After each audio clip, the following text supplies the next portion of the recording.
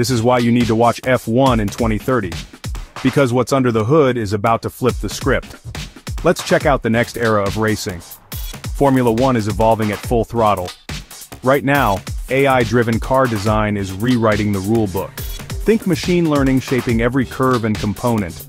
Even pit stops are getting smarter, with real-time predictive analytics and live telemetry calling the shots. But what about what's powering these beasts?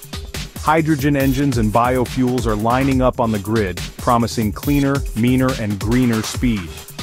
And here's where things get wild. Autonomous F1. Racing, yep, cars tearing down the track, no drivers required. Is it science fiction or the next big leap? All these innovations are racing toward us fast, mashing up technology, sustainability and pure adrenaline. So, is this the next era of Formula One? Hit like, drop a comment, and subscribe for all the F1 tech updates you can handle.